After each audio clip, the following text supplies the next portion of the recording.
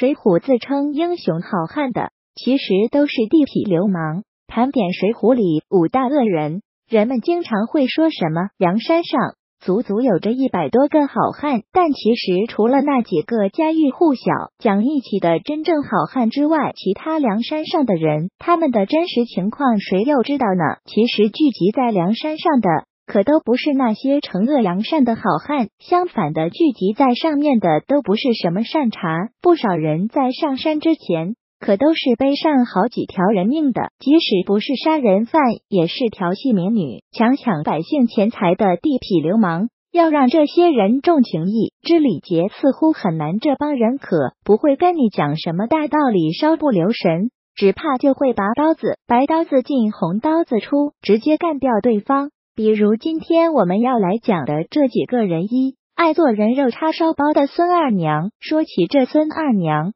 那在做包子界。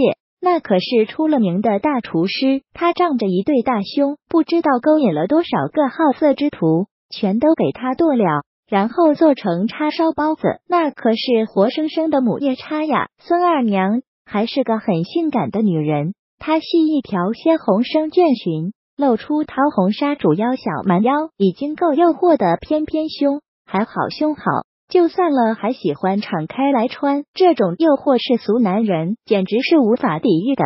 这要是哪个不识相的男人中了招，直接就往台上一放，任你怎么求饶，都得挨上那么一刀，开膛破肚，然后取肉来做包子。按武松的话来说，肥的切做馒头馅。瘦的拿走去填和，典型的吃人不吐骨头类型。虽然孙二娘这么做有她以前的伤疤，但这行径确实太没有人性了，简直就是吃人的妖怪。不过也不能怪他，谁让世间的男人大都居心不良呢？二杀老丈人强行夺妻的董平董平原。是兵马都监，他爱上了程太守的女儿，求婚不成，这也就罢了，找另一家女人不就成了？哪知道这家伙还怀恨在心，居然杀了程太守一家，还把他女儿程小姐夺走为妻。这种行为就算是草寇，只要有三分仁义和廉耻，再都不会这么做。他哪还称得上是好汉三？好吃人心还宜人妻子的王英，王英绰号来脚虎，原本就是清风山二寨主。这家伙在占山为王的时候。吃人心都吃出经验来了，比如书中写的，抓住宋江后，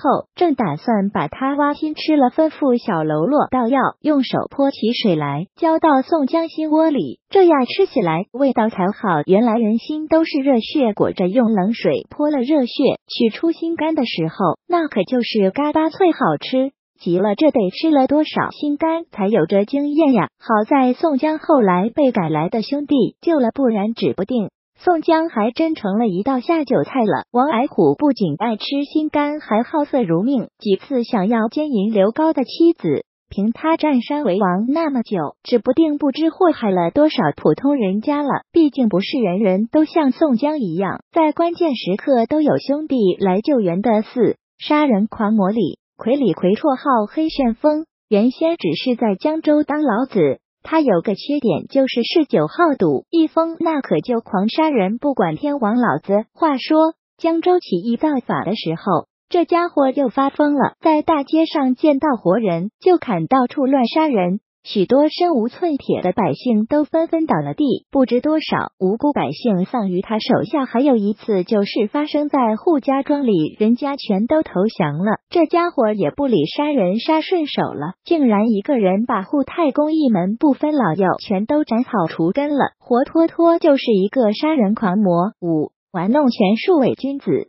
宋江许多人都觉得宋江带领这帮好汉，最后却投降了，感到可惜。其实宋江也压根不是一个好人，他更符合“伪善”这个词，为达目的不择手段。比如他设计陷害卢俊义，就是为了拉他入伙；他想要拉秦明入伙，又让人杀死了一百多无辜老百姓，就连秦明一家也不放过。最后秦明被逼，只能跟着宋江混。还有最后，宋江饮毒酒，想到杀人狂魔李逵将来肯定会报仇，坏了自己的名声，便连自己兄弟李逵也骗过来，一起喝了毒酒。这分明就是一个爱好玩弄权术的伪君子。在他内心最深处，可能只有他自己兄弟一起啥的，根本就不占任何位置，只不过是自己玩弄权术的工具罢了。然而宋江在当时被洗白成为一个重义气的大哥，《水浒传》所有的英雄几乎没有怀疑他的，也没人拆穿他的假面，他。算是伪装的很成功的了。一个善于忘记的民族，注定是没有前途的。请关注公众号